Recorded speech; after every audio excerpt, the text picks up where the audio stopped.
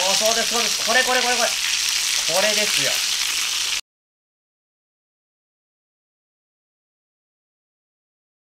はいどうも料理のお兄さんリュウジです。はいということでです。ねちょっと声が裏返りましたけど私シラフでございます。はい。しかもね昨日も一昨日も酒飲んでない。すごいだから体調マックス。バッチリでございます。はい。なんですけど今回はですね僕は飲んでない本当に一滴も飲んでないということで今回思考シリーズねまあ思考シリーズも定義あやふやになってますけど今回はですね私中華料理まあ好きなんですけど中華の思考レシピ多いじゃないですか僕。でその中でもずっと完成しなかった中華のレシピがあってそれが何かっていうと皆さんも大好きな油淋鶏。これね全然僕何回も作り直したんですけども一向に自分のもう満足するものができなかったんですよ。なんですけどもう本当に多分ねあの3 4 0回作ったと思うんですけどもやっとできました。それぐらい僕油淋鶏好きなのでハードルが高かったんですよ。思考のハードルが。で今回初めて僕のハードル超えました。はい、えーその作り方っていうのを早速やっていきたいと思います。リュウジのバズレシピ。じゃあですね、材料ですね、この鶏もも肉 300g ぐらいのものです。で、あと生姜、これ国産の生姜です。これ必ず国産にしてください。生で使うと香りが違うんで。で、あと鷹の爪、これ、これね、あ1本分、まあ1つまみぐらいですね、使います。で、あとこれが長ネギです。はい、長ネギ 50g です。はい、もう以上。はい、じゃあまずはですね、鶏肉からやっていきます、これ。鶏肉ね、漬ける時間があるので、鶏肉からやった方が時短になります。でですね、これ、鶏肉、鶏もも肉ですね、300g。まあ、胸肉でもできなくはないんですけども、僕はね、油淋鶏といえば、もも肉かな。お好みで大丈夫です。はい。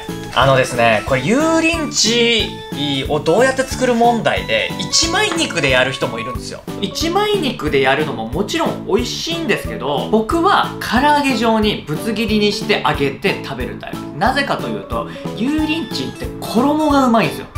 衣にタレが浸ってネギ生姜ダレがね浸ってそこをかぶりつくのがもう一番美味しいんですなので油淋鶏はですね唐揚げ状にしてください。僕のやり方ですでもこれは。はい。えそれが一番うまいです。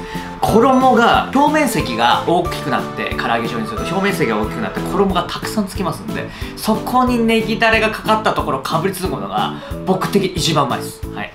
なので唐揚げ状にしていきます。大体ね 300g のお肉だと。あ等分でいいか。まあまあこんな感じ、まあ、等分に等分にしていきます、はい、そしたらですねお肉のためにボウル用意したんですけどもこれでつけていきたいな。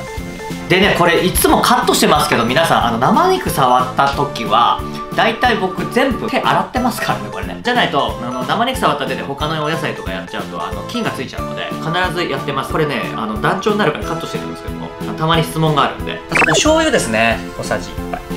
学ぶが3分の1ですねお酒が大さじ1と半分ででここでおろし生姜です。生姜 5g をおろしたものです。こすっていただいたらこんな感じで。でちょっと混ぜて。で最後に片栗粉大さじ1だから小さじなんで小さじ3ですね。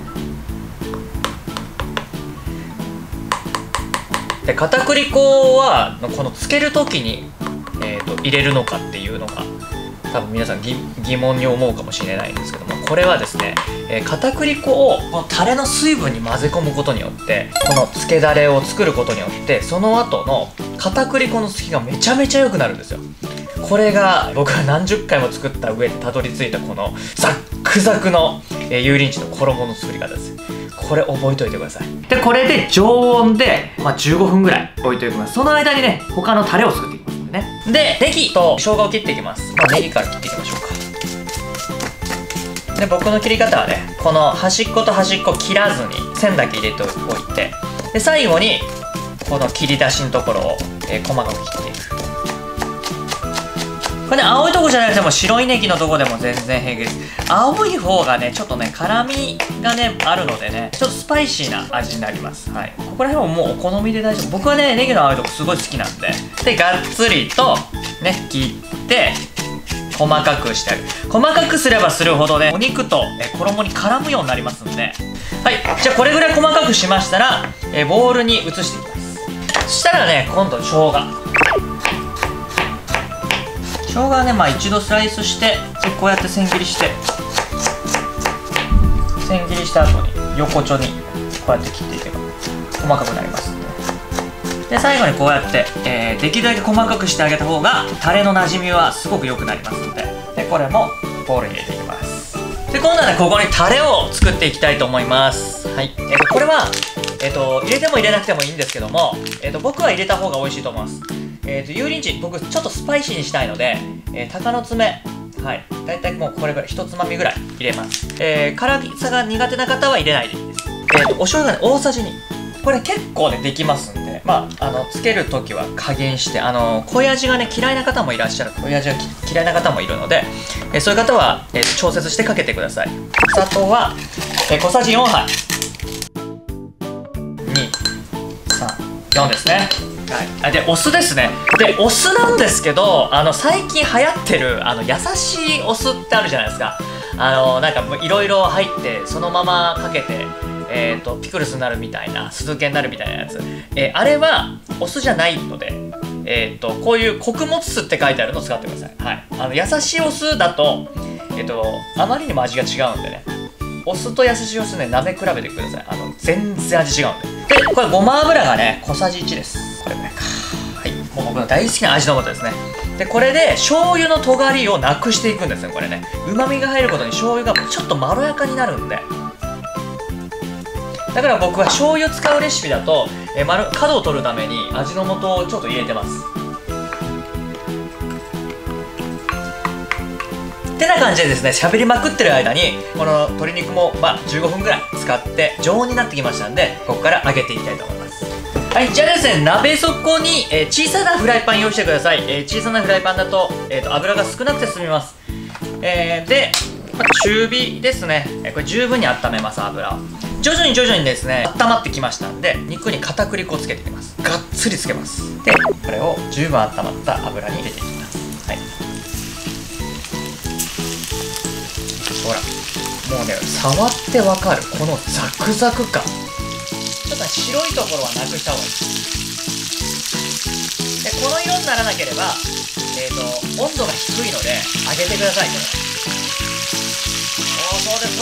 これこれこれこれこれですよこの上がりこの上がりなんですでですね全体が柴犬色になりましたら取り出していきますでこれねちょっと休ませておきますそして盛り付けに行きます、まあ、こんな感じですかね、はい、まずはこの具というかネギの部分これを最初に上にかけてくださいはいこんな感じですでこの余ったタレこれは下から流してくださいなぜかというと上から汁だけかけてしまうとこの油淋鶏がしなっとなっちゃうんですね。ちょっとサムネ映えさせたいんで追い唐辛子します、はい、料理系 YouTuber の宿命なんでね。ということで至高の油淋鶏完成でございます。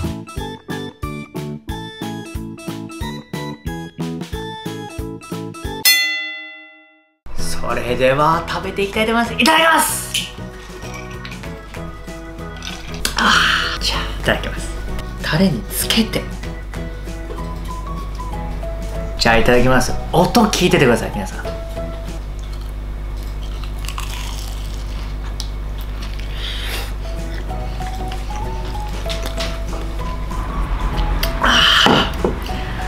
あのねほんと断言するけど世界一うまいです。本当にこれは。マジで自信作です。多分ねこれ以上の油淋鶏は多分現れないとこれが一番うまいこの衣の着力そしてこのタレの生姜のね香り唐辛子のねいいスパイススパイシー感ね。そしてねまあこれあればでいいですよ。ホワジャオですね。これねちょっとかけてあげてください。そうするとこれがねゆりちゃんの。うますぎる。うますぎるよ。うますぎる。本当に美味しい。本当にもうこれ超自信がありますんでこれぜひやってみてください。これはねハイボールがまくり進みまくりまくりしていいですああうまい。本当に。このまあね至高の油淋鶏ねめちゃめちゃうまいんですけど僕あと3本取らなきゃいけないんでね。3本取らなきゃいけないんでめちゃめちゃいい気持ちになってるんですけど。